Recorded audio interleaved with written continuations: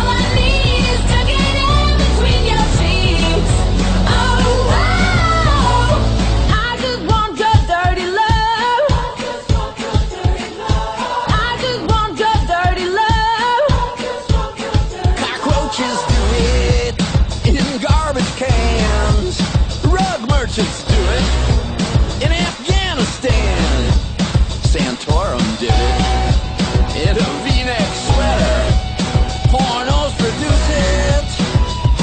But a Wild Child can do it better. Oh, wow.